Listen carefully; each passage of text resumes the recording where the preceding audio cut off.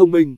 Sau một thời gian gây tò mò cho công chúng cũng như các tín đồ công nghệ, hãng Casper Thái Lan chính thức cho ra mắt dòng TV thông minh tại sự kiện Beyond the Limit, bứt phá giới hạn vào tối ngày 30 tháng 10 năm 2019.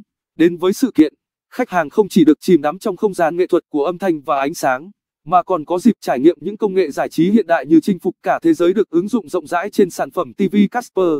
Sự có mặt của dàn mỹ nhân đình đám showbiz như ca sĩ Tóc Tiên, Hoa hậu Tiểu Vì, Hoa hậu Lương Thùy Linh, quán quân sao Mai Thu Hằng càng tăng thêm sức hút của sự kiện.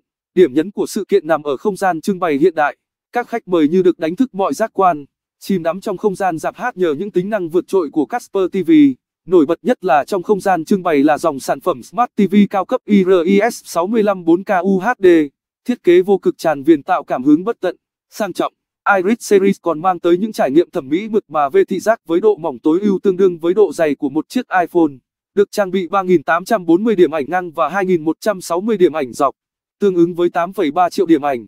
Casper Smart TV truyền tải hình ảnh có độ nét vượt trội với từng chi tiết, chuyển động mượt mà và sống động như thật. Chưa dừng lại ở đó, Casper TV còn khiến tất cả khách mời không ngừng trầm trồ trước những âm thanh tinh khiết từ hệ thống loa, được cấp phép bởi Dolby Laboratories, tập đoàn Mỹ với công nghệ mã hóa và lọc âm thanh lừng danh toàn cầu.